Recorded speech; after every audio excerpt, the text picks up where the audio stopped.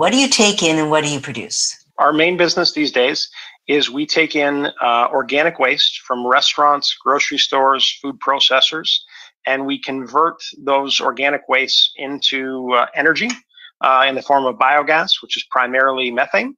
And we convert that biogas into electricity, into renewable natural gas, and we take the byproducts of the process and we turn them into fertilizers that uh, the agricultural industry can can utilize.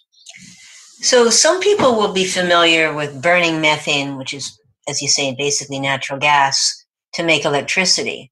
But what's renewable natural gas?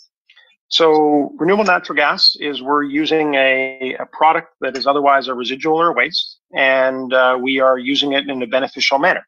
So uh, food waste, which otherwise could be land applied or put in a landfill, we're capturing that energy and putting it to good use. So they, in the view, that's deemed uh, renewable natural gas.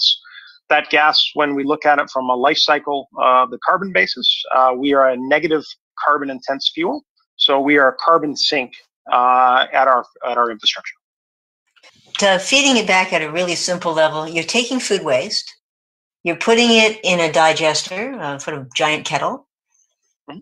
You're letting it degrade to methane. You're capturing the methane, mm-hmm. cleaning it up, and putting it into the gas line. Is that right? That's yep. That's primarily it. Or we can make electricity, uh, or we can put it into the natural gas pipeline. One or the other. All right.